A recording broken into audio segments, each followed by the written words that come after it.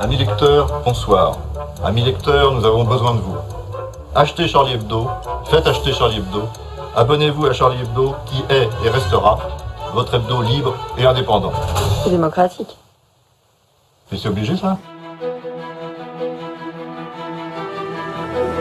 J'espère que euh, plus jamais on nous traitera de laïcard intégriste, que plus jamais on utilisera le même mot intégriste pour parler des assassins et pour parler des victimes. On a le droit de ne pas trouver drôle ou de trouver, euh, de trouver énervant euh, un dessin, un, un, propos, une parole.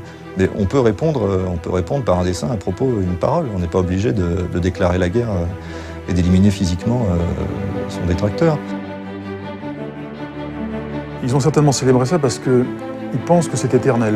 Ils pensent qu'il y aura toujours Charlie Hebdo. C'est un peu comme la Tour Eiffel, ils se disent que ça sera toujours là.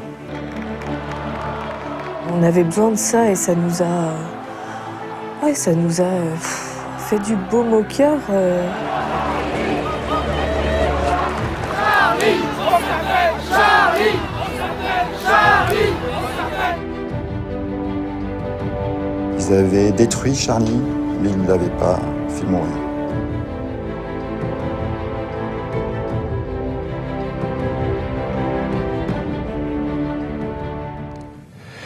Je m'adresse maintenant à tous les racistes, islamophobes et antisémites qu'il ne faut pas mélanger les extrémistes et les musulmans. Les fous n'ont ni couleur ni religion.